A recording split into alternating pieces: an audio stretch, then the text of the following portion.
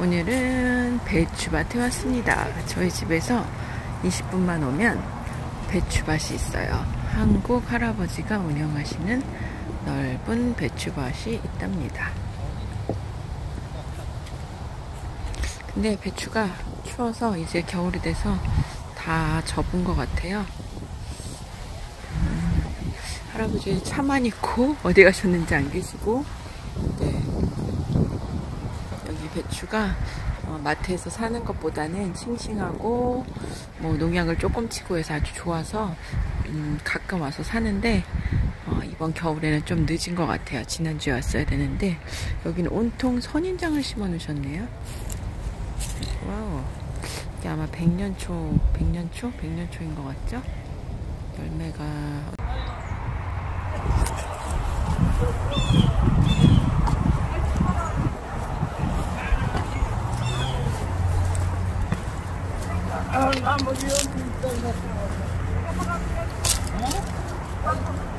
방송 와갖고 아저씨 보고 싶다고 한달고 가서 누구 딸이 바꿔서 보내왔어요. 올해 농사 많이 해서 잘 파셨어요? 어, 올해 배추값이 비싸서. 여기서 비싸? 아니 그런데 판매는 이게 기내를 빌려달라고 그래.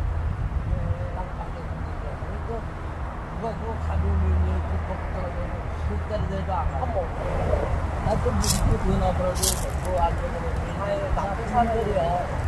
그리고 여기 물품은 처음 뭐 연락을 다 집어가요. 아니 이 미국이 아니구만. 어? 미국이 아니야. 에이, 더 나빠야 한국 아. 나는 제가 이게 옛날 얘기야 한국.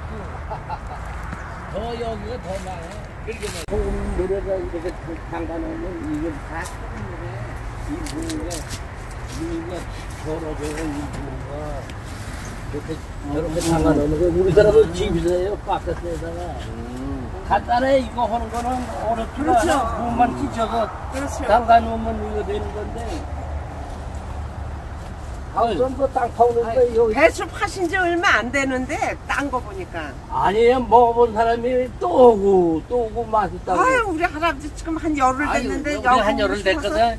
오자마자 오자고 오자고 해도 우리 딸이 바빠갖고 그냥 오늘 시간이 어허, 있어갖고. 늦었구나 지금 아이고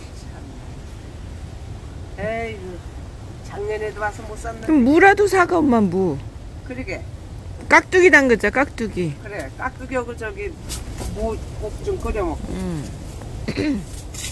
시래기 맛있겠다. 시래기 금 많이 잘 말려 놓으셨네. 시래기 잘 말려 놓으셨어. 이게 시래기가